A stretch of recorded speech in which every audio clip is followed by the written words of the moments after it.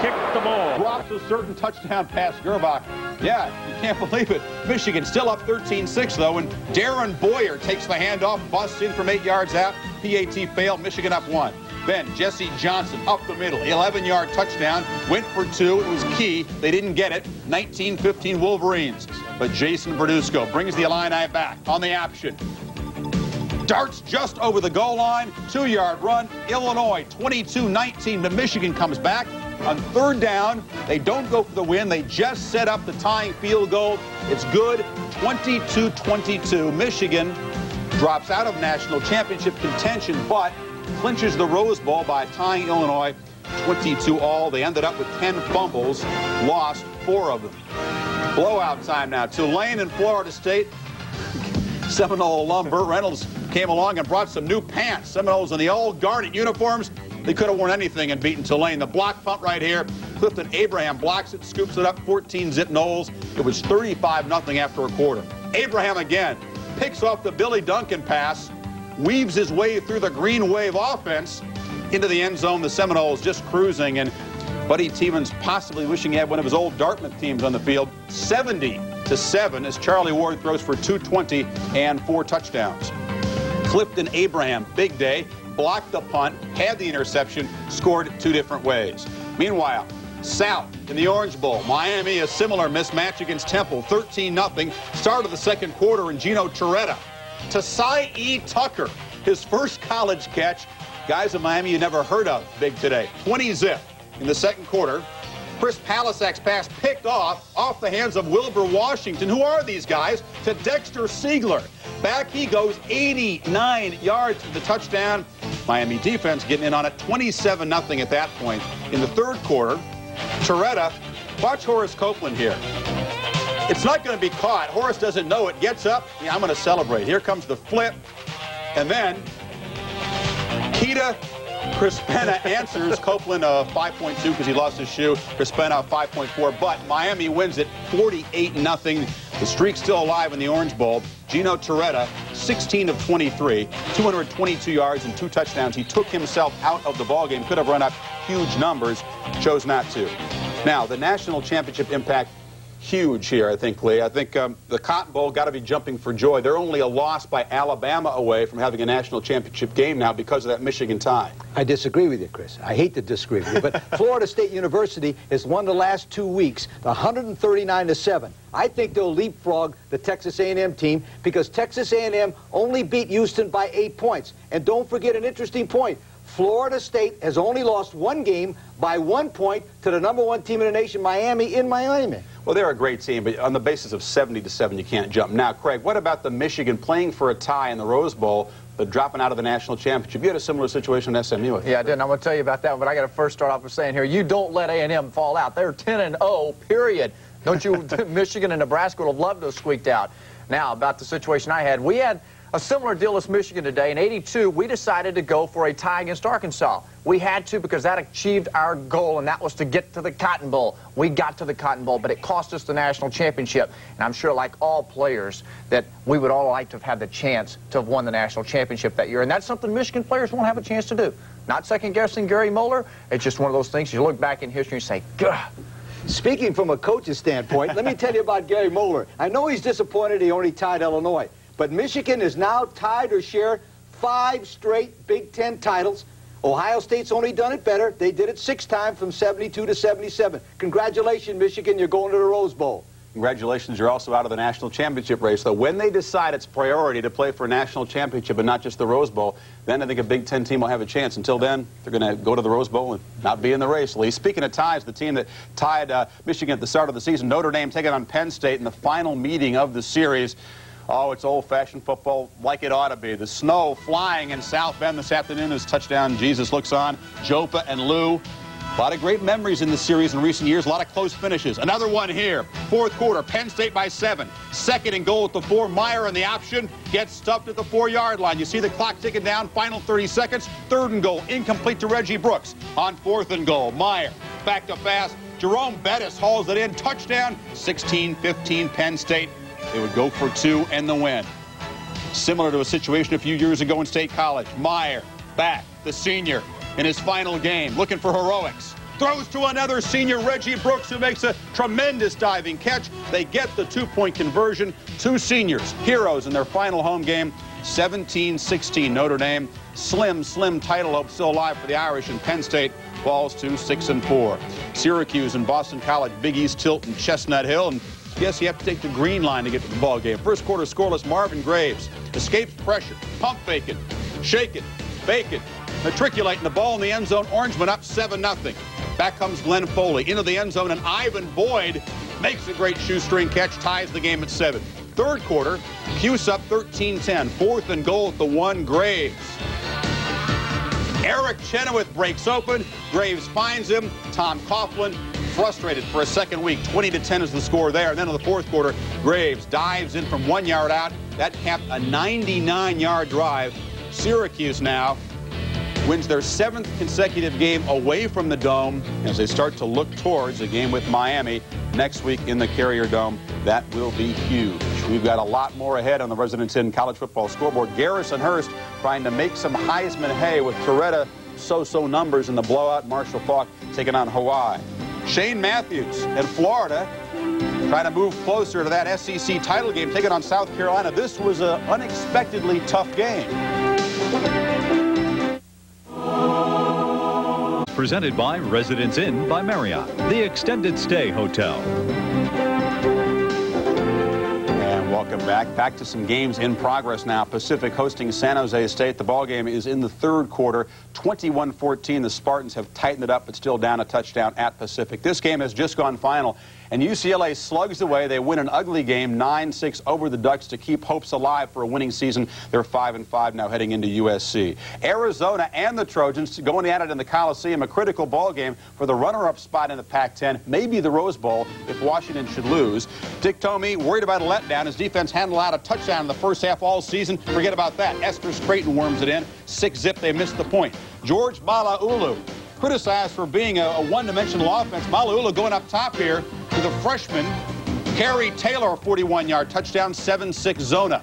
But late fourth quarter, third and goal for USC. Rob Johnson pitches to Deion Strother, who goes back to Johnson. He's well covered, but a great leaping catch. USC two-point conversion makes it 14-7, and the Trojans hold on to go to 6-2-1. Arizona may have seen their Fiesta Bowl hopes fizzle. They dropped to 6-3 and 1. a nice ball game for Johnson. Washington clobbering Oregon State. They recover from the loss at Arizona nicely. 45-16 is the final as Mark Brunell throws for two and runs for two. To the Big Ten, Ohio State and Indiana. Tie ball game at three in the third quarter when Robert Smith busts one. He's finally healthy, and so is his offensive line. And look at Smith go. 64 yards, forget about him. He's just cruising in there. 10-3 Buckeyes at that point. They opened it up late and they win at Indiana 27-10. They're 8-2 with only the game against Michigan at home remaining. That's next week. ACC, Duke, and NC State will pack up 14-7 second quarter when Spence Fisher gets hit, coughs up the football. Mike Harrison made the hit, and Carl Reeves scoops it up. Carl, forget about it. 47-yard touchdown. NC State wallops Duke 45 to 27 at 8-2 and 1. The Wolfpack are a bold team with one game to go. Now, Georgia and Auburn, an important game for Garrison Hearst's Heisman chances. Also an important game for Georgia to have any hope of getting to the SEC title game should Florida lose one of the last two ball games. Third quarter tied at 7. Hearst in motion, and Eric Zeier finds him. 64-yard touchdown pass. Dogs up 14-7. Fourth quarter, Auburn down four. Fourth and two from the nine. They keep it alive as James Bostic gets the first down of the five. After they use their last timeout, dive. Sends out Stan White, 19 seconds to go. They fumble the ball on the goal line here. This was fourth and goal. The Dogs with the ultimate hunker down. Now the clock is just ticking down here. While they argue what's going on, the clock continues to tick. They never do stop the clock. Auburn has a beef here.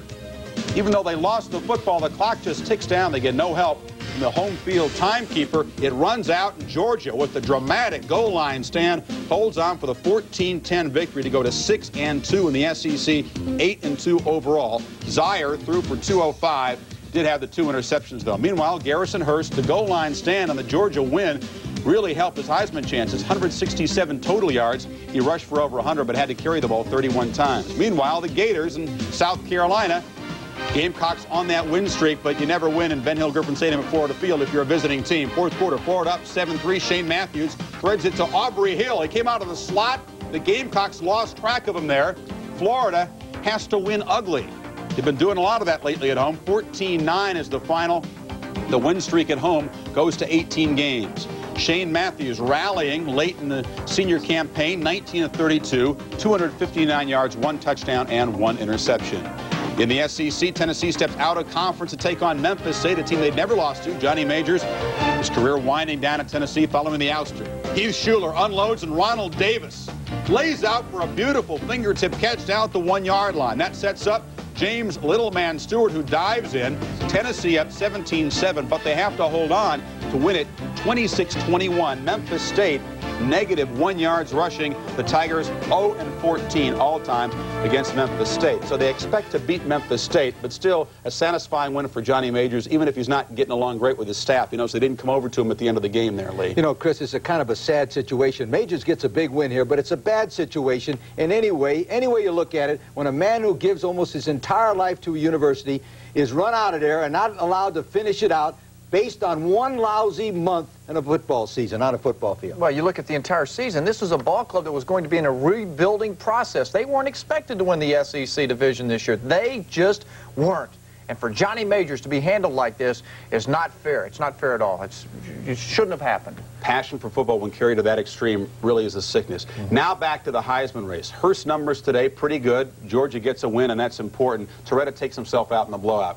Break it down. Well, I, I, believe that Gino Torretta and Garrison Hearst, they've done today what they needed to to stay in that dead heat. Now it's up to Marshall Faulk tonight. Faulk, you better go out and run for over 200 yards tonight and the rest of these games this year because if you don't, and you got Hearst and Torretta that are ahead. We may have to start calling him Gino Corso, but, but nonetheless. well, Gino Corso took himself out after half a game. And let me tell you something on this. He threw for 221 yards, had two touchdowns in one half. But the important thing, He's now thrown 122 straight passes without an interception, a Miami record. The guy deserves the Heisman Trophy. Comes down to Syracuse game next week for Hearst. They got to exactly. play Alabama. Uh, this, they still got games to play out. They got Georgia Tech to play. That's going to be key. All right, we're going to come back with more on the college football scoreboard. As we go to break, one double A scores. Citadel, ranked number two, thought they should have been one. Blows out VMI, but Delaware, the number three team, upended by Richmond 29-21. bowl game. Clemson actually 5 and 4 overall, but only 4 1A wins. John Kaleo finding Jermaine Lewis, splits the defense here. 69 yard touchdown. Terps up 14 6. This would be a sweet win for the Terrapins after a frustrating season. Kaleo, is it a keeper here? No, it's the Ruski. Ron Steph, Ron, Ron. There's Ron Steffolino in the end zone. The big guy in the Ruski, 11 yards for the touchdown. Maryland blows out Clemson at College Park, 53-23. John Kaleo, 418 yards and five touchdowns. So Clemson at five and five with one game to play cannot go to a bowl game. They are bowl ineligible. So is Georgia Tech, beaten by Wake Forest 23-10. The Jackets, one game left, can't get there. But what about the Demon Deacons at 7 and 3 with a road game in NC State? If they win that ball game, some bowls got to take them. West Virginia and Rutgers. The Mountaineers out of the bowl hunt by losing 13-9, 4-4-2. They can't get there. And Ray Lucas, who replaced Forte, effective with 191 yards. Michigan State beats Purdue 35-13. The Spartans Bowl hope still alive at 5 and 5 as Craig Thomas rushes for 127 yards. Iowa clobbers Northwestern 56-14. Paul Burmeister four touchdown passes for the Hawkeyes. Wisconsin big over Minnesota 34-6 at Camp Randall as Brent Moss rushes for 137 yards. Oklahoma and Oklahoma State in the Big Eight. And Scott Blanton, the Sooner kicker, on for the point after to tie the game, but Carlos Irving blocks it. Keith Burns rumbling, stumbling the other way, all the way for the two-point conversion for Oklahoma State. Cowboys up 9-6 in the second quarter. Fourth quarter, we're tied at 12. Oklahoma going for the touchdown on fourth and goal. Cale Gundy and the sneak forgot the football. Oklahoma State takes over on downs. Under two minutes. Sooners down 15-12, but driving. Gundy's pass almost picked off, but grabbed by Corey Warren. The drive alive, the final seconds. They run up the middle on third down and play for the field goal. Is this a sign of how far things have fallen at Oklahoma? They're satisfied with a tie with Oklahoma State. They don't play for the win. 15 and 15 is the final. Oklahoma just 5-3 and 2. Missouri beats Kansas State 27-14. Jeff Handy, three touchdown passes for the Tigers. Texas all over SMU, 35-14. Gardere throws for three touchdown passes, 212 yards. Texas Tech in a wild one over TCU, hangs on, wins at 31-28. Lloyd Hill 43-yard touchdown pass with three seconds to go, providing the winning score. Rice in another wild one on the Southwest Conference over Baylor. Trevor Cobb, 128 yards, rushed for a touchdown. Ole Miss and La Tech. Ole Miss ball in the second quarter here. Lawrence Adams will throw to Joe Woods, but the cornerback, Chris Bray, bats it into midair, and Marvin Courtney catches it. Forget about him. 54 yards for the touchdown. Seven zip Ole Miss. They win it 13-6. Glenn Milburn, who was a Heisman candidate earlier in the year, having a big game. On the receiving end of a touchdown pass from Steve from earlier. Look at this move right here. Well, past Torii Hunter. He'll go 31 yards. That made it 17 to 3 Stanford. The game has now moved into the fourth quarter. 42 yards receiving, 31 yards on the ground. Milburn having a big day.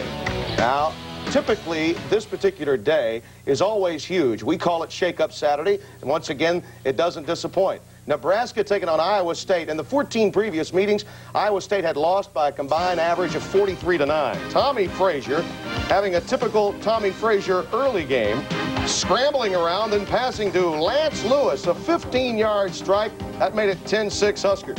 Third quarter, 17-10 Iowa State. Marv Seiler, that's right, a third-string quarterback coming around the right end. He'll take it all the way down to the two-yard line and then they get the touchdown, move ahead by a score of 19 to 10. He had never played before, and the Iowa State fans tear down the goalpost and break the 14-game losing streak to Nebraska. It is without question the shocker of the year to this point. Ty Stewart with four field goals in the ball game today. Now, this obviously meant that Colorado and the Kansas game became more important. What happened to Ralphie? Take a look early. First quarter on third down, Chip Hilleary in the shotgun under pressure. Marcellus Elder will tip it, and Leonard Renfro takes it in. That made it 7 0. That would be the difference in the ball game. 25 to 18, seven points the difference. Kordell Stewart, 22 of 34 for 304 yards. Now Colorado needs some help from Oklahoma, and they could be dancing with oranges on New Year's Day. Now, Illinois taking on Michigan today. The Fighting Illini with Jason Verduzco finding some offense, and the Wolverines in the Rose Bowl, but out of the national championship hunt. We're going to show you why. Craig? Fourth quarter, it's a great call because the DBs are running into the end zone for coverage. He's got the option to run. He can run well. Yeah, Verduzco gets it in. And then the field goal attempt. What's bizarre about this is on third down, Moeller chose not to let Elvis, Elvis Grbac go to the end zone. He set up simply for the tie. 22-22, clinching the Rose Bowl and clinching the fact that Michigan will not have a chance for a national championship. Washington taking on Oregon State 45 to 16. The Huskies clinch the Pac-10 and the Rose Bowl. For a one-hour special presentation Saturday night.